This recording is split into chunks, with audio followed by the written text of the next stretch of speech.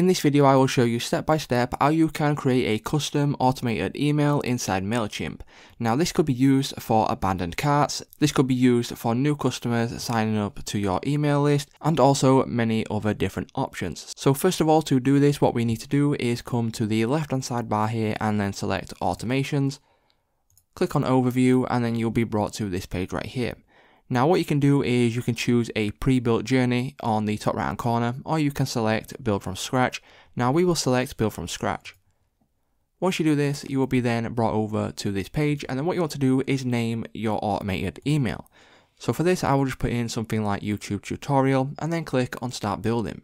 Once you click on start building, you can then choose a starting point and then what this will be is, you know, whatever you want it to be. So this could be someone signing up for your email, abandoned carts, it could be a birthday, you know, and then you've got other options here on the left hand side. So you can go through and you can choose sort of pretty much whatever you like and then you've also got a popular tab on the top left hand corner. Now what we will do this for is we will go ahead and click on abandoned cart for example and then what you can do then is click on your store name. Now make sure you go ahead and click on the correct store because this obviously is the way that MailChimp do track who abandons your cart. And then what we can do then is go down to products. Now you can click on any products or specific products. This is entirely up to you and what you would like. So what you can do once someone has abandoned the cart, you can then choose the duration of time that MailChimp do wait before sending out the email. Now what you can do, for example, if you put one in the wait for box right here, you can then click on the drop down menu and you can choose hours, days or weeks. Now whatever you choose is when MailChimp will send the email, click on save starting point and this is the first part of the automated email complete.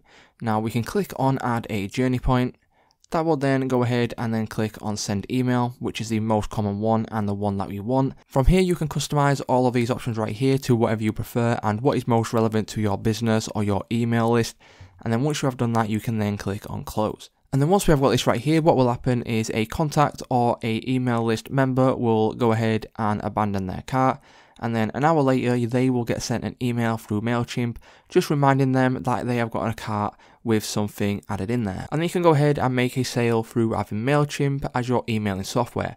So it's just that simple guys, if this video did help you out, please leave a like on today's video. If you have any questions, feel free to leave them in the comments. And without further ado, thank you very much for watching and I will see you in the next one.